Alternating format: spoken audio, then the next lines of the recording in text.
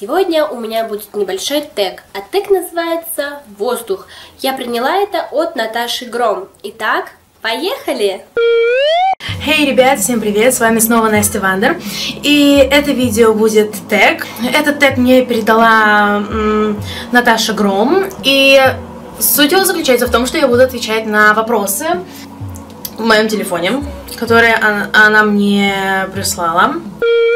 Привет, я Кристина, и недавно мне ВКонтакте написала Наташа Гром, она Волге, и типа такая, слушай, мы ищем двух блогеров, чтобы они сняли тег «Воздух», а я такая, окей, я заинтересована.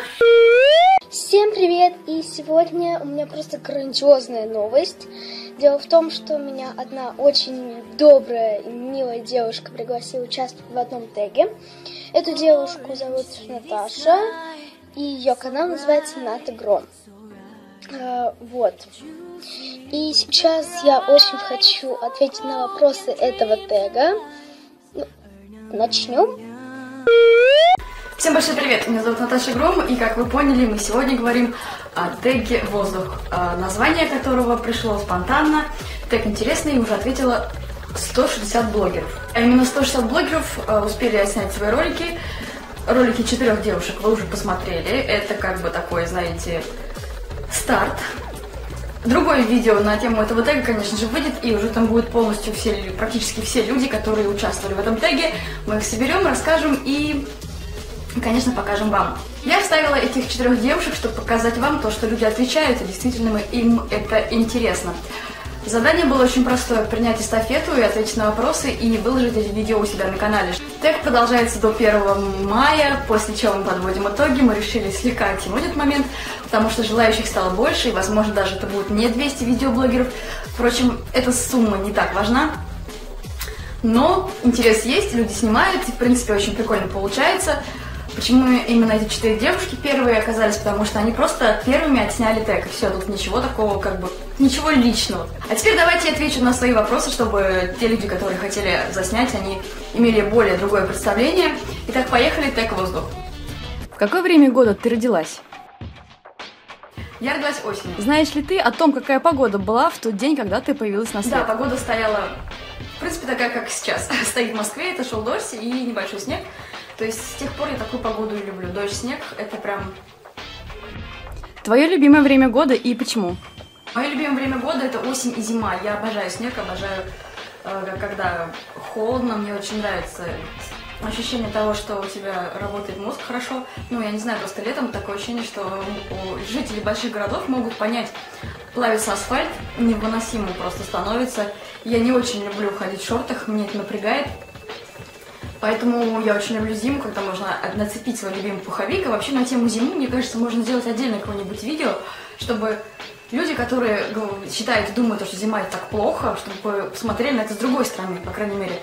Ну и осень я люблю, потому что у меня день рождения. И вообще осень, по-моему, мне кажется, Самая красивая пора такая, золотая, знаете ли, листья падают, по-моему, это прикольно. Еще я люблю зиму за Новый год. Новый год – это мой любимый праздник. Была возможность оставить только три месяца в году. Какие бы они я были? Думаю, это был бы ноябрь, декабрь, январь. Это зимой ты делала снеговика?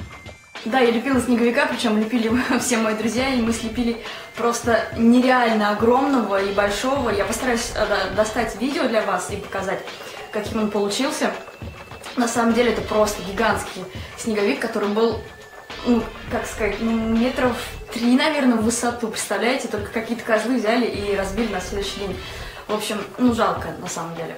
Назови три страны, в которые ты хочешь поехать. Три страны, ну, знаете, я очень много где была, на самом деле, и я не была только в Исландии, куда бы хотелось поехать. А, Англия, Лондон.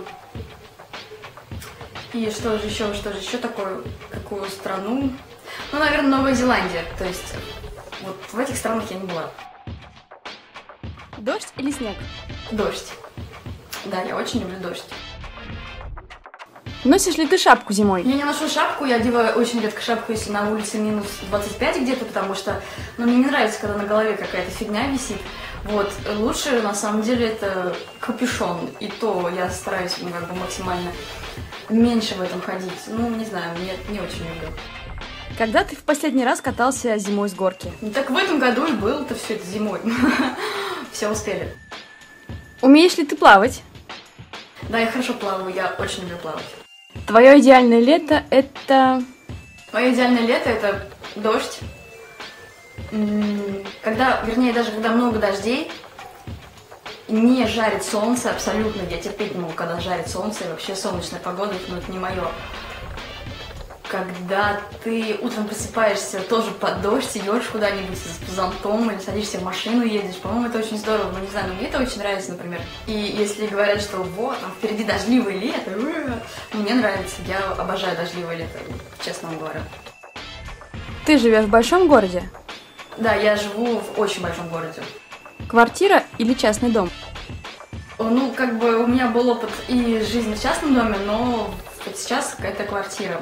Но опять же, частный дом я считаю намного лучше и прикольнее, чем ты сидишь вот в этой вот коробке. Ну, в смысле, квартире.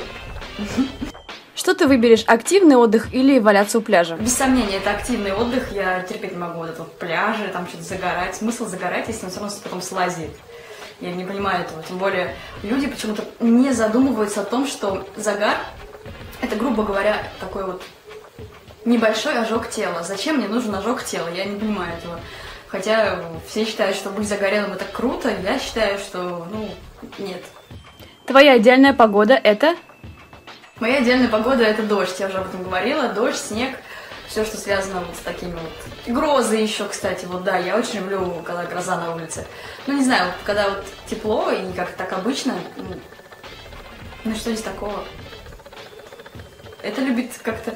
Я понимаю, что больше всего людей любит именно такую погоду, да, но у меня как-то вот, ну, не сложилось, если честно. Считаешь ли ты, что окружающей среде необходима защита? и- Психология, на самом деле, у нас все ужасно, и это очень большой бунт, и нужно что-то делать.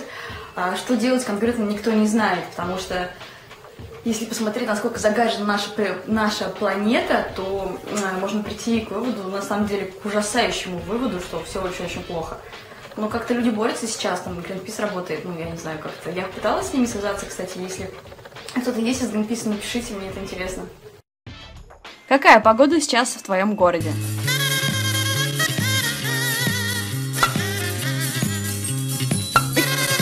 Много ли у тебя парков в городе, и есть ли у тебя любимый?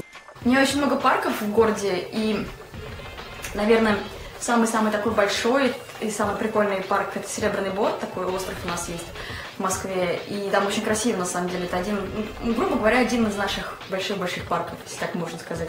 Там везде вокруг вода, то есть там много-много озер, и там действительно очень красиво. Также я очень люблю, я не знаю, как он правильно называется, у станции метро Тимирязевская, если пройти подальше чуть-чуть, и между Войковской есть тоже очень-очень большой красивый парк. Но туда, как правило, интересно ходить летом, когда все это можно посмотреть, заснять там, я не знаю. Ну, в общем, вы поняли. Боялась ты в детстве грозы? Когда мне было три года, да, я боялась грозы, а теперь, э, вот, на самом деле, для меня такое завораживающее действие, когда природа ругается, грубо говоря, когда идет такой шторм, бунт. И это на самом деле очень круто. Я пережила сама ураган на Кубе. Это был- было несколько лет назад. Это был одно- один из самых незабываемых в жизни моментов, потому что ну, это реально круто. Это когда ты находишься в этом эпицентре, и когда просто свистят стекла, падают деревья, и ты думаешь, выживешь, не выживешь. Ну, на самом деле, это незабываемое впечатление, и я думаю на эту тему снять отдельное видео и рассказать, как это было. Считаешь ли ты, что вегетарианцы спасают планету? Нет, я не считаю, что вегетарианцы спасают природу, потому что все очень взаимосвязано, и люди не, не могут съесть, съесть мясо больше, чем они могут съесть его вообще. Я ни в коем случае не хочу оскорбить вегетарианцев, это ваше дело, если кто не ест мясо. Возможно, это хорошо для вас, но не все люди могут жить без мяса, это я могу сказать сразу. Это смотрится по группам крови, мне на самом деле это очень долго объяснять. Я пробовала не есть мясо, мне было очень плохо, кружилась голова. Я считаю, что белок для организма нужен. То есть в любом случае, понимаете, как бы это такая на самом деле вещь очень щепетильная. То есть если вы выбираете жить без мяса, пожалуйста, живите без мяса. Это хорошо, если это вас устраивает. Если, есть, если это кого-то не устраивает, то я считаю, что люди должны есть мясо. В этом ничего плохого нету абсолютно. Просто каждый живет так, как ему нравится. Это мой самый главный девиз, который, ну, который есть, который должен быть у каждого человека. И вот таким образом, я ответила на вопрос этого тега. Я надеюсь, то, что передаю эстафету. Ищу еще 40 блогеров.